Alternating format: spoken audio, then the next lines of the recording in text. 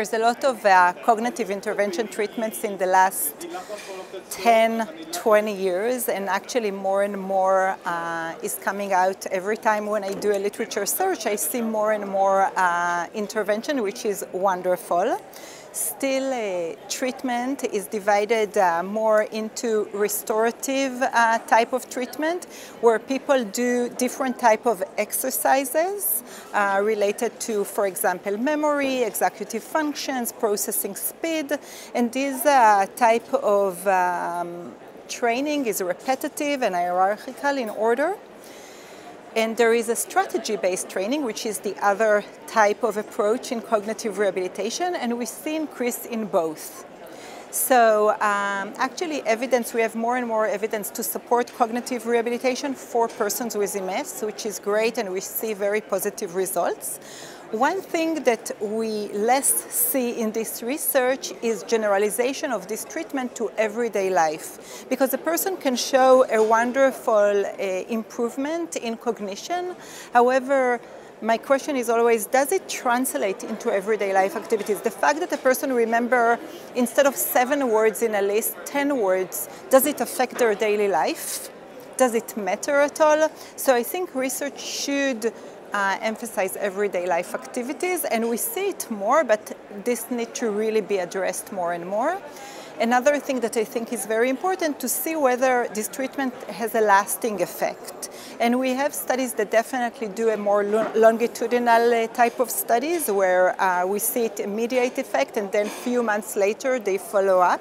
But more research uh, should um, administer the long-term effect uh, type of outcomes. So uh, some recent advances are um, there is a speed of processing uh, training. We showed uh, very promising uh, results in patients with MS, uh, definitely in terms of processing speed. We measured also in this um, everyday life generalization, and, but it showed really partial support for that, not a, a, main effect. And therefore, I believe that the next generation of uh, cognitive training should combine strategy training that gear toward everyday life activities together with the restorative approach. So it should be like almost like a synchronized type of approach for cognitive training. Uh, another thing that we see recently is also like a combination between cognitive training and exercise training to see whether again there is a synchronized uh, effect of these two type of uh, approaches.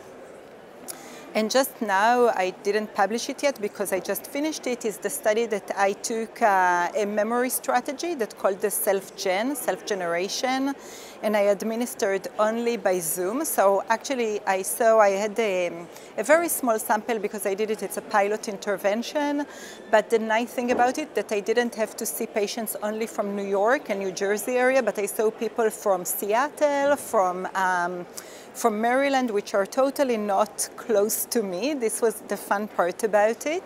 So my reach was a bit larger. And uh, within that, I did a, a it was a strategy-based intervention where I taught people to remember better by using association and meaningful things uh, to them and a more context approach to memory. And this, uh, I really show that uh, the results are very promising because we have improvement in memory and also in activities of daily living, which is kind of the generalization of the treatment.